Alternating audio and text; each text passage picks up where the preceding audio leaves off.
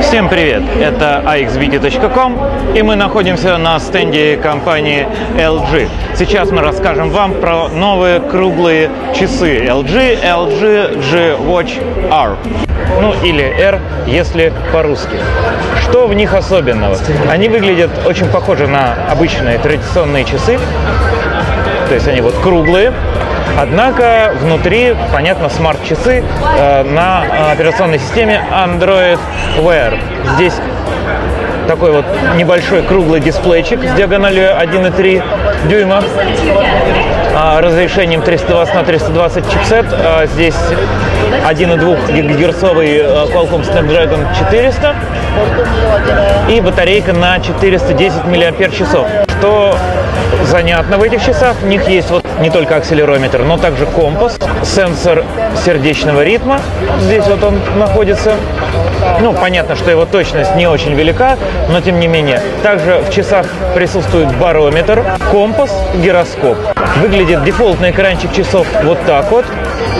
Бывают разные экранчики на самом деле, то есть скины, такие, которые вам больше нравятся. Как видите, вот здесь дисплей полностью покрывает круг.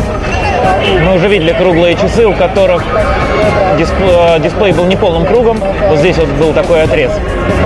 А в остальном это, понятно, Android Wear обычный, то есть, ну, обычный. В нем можно посмотреть уведомления,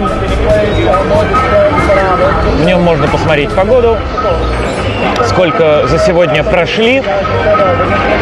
Ну и можно управлять Google, э, можно управлять с помощью голосовых команд. Google Now забавный. А вот эта вот штука, которая говорит нам, через сколько времени надо вылетать, очень удобная.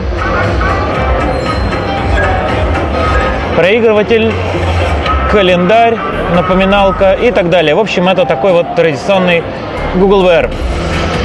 Но часы выглядят интересно.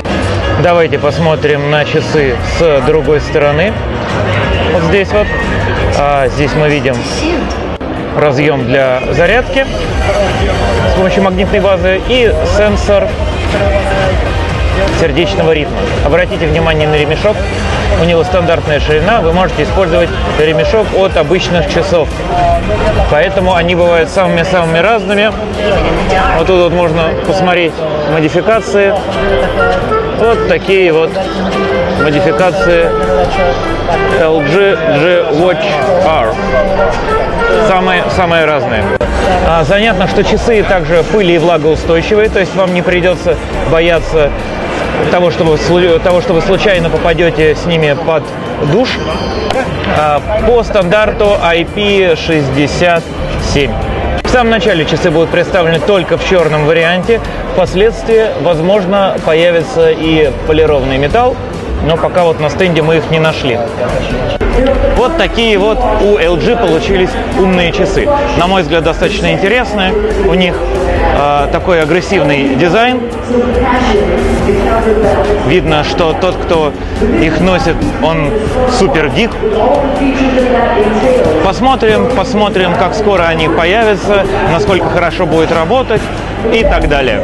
Больше умных часов. С вами было xbt.com. Оставайтесь с нами на IFA 2014.